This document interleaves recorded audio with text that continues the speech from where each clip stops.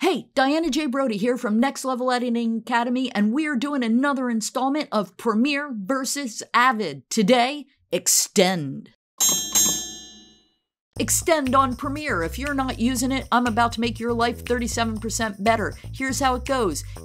I believe that it's natively on the E key, but I know I for sure have mapped it there. If it's not on your keyboard, come over here to keyboard shortcuts. Go down to the keyboard shortcut finder type in extend. There it is, extend to playhead. It's mine's on the E key. You can map it there. I highly suggest E for extend. You put it wherever you want, you do you.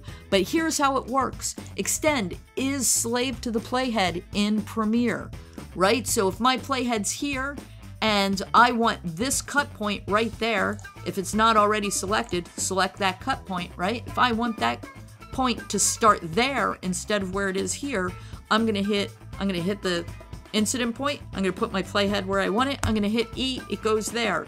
If I'm like, no, actually I wanted this clip to start here, then I'll hit E. It will go wherever your playhead is. Oh, it's so much fun. I use Extend conservatively about a thousand times a day, but it works differently on Avid. Join me. In Avid, Extend works a little bit differently. Here's our playhead in Avid. Avid could care less where your playhead is during Extend. Doesn't matter whatsoever. It's slave to the in or the out. If you don't have Extend mapped on your keyboard in Avid, you're going to want to come up here to your settings in the file. Go to Settings.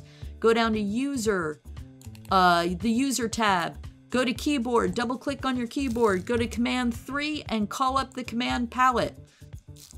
Right there and you're going to want to map extend. You can search for extend right here, extend, boom. Here it is in trim because it's technically a trim function. You're going to want to put this as a button either on your on a button layer or on your keyboard uh, entirely. You're going to use it a lot. For me, I have extend on E in Avid and E in Premiere. That way it doesn't matter what program I'm using, I know to go to the E key. But I put it right here just in case you want a visual. That's what extend looks like as a button. So your extend is slave to your in or your out, not to the playhead. So if I want this cut point right here to start here instead, I'm gonna put my in. Then I can move my playhead anywhere because the playhead doesn't matter. Then I'm gonna hit E, boom. This cut point is now where my in point was.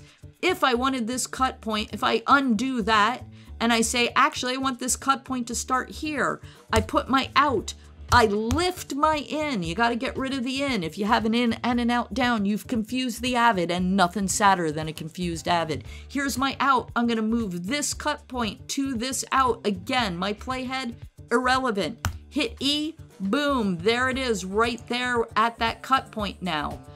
Uh, and you have done extend. If you found this video helpful, don't forget to hit like or subscribe. And if you got any questions, hit me up in the comments. Feel free to check my link in the bio or the link underneath if you're watching this on YouTube.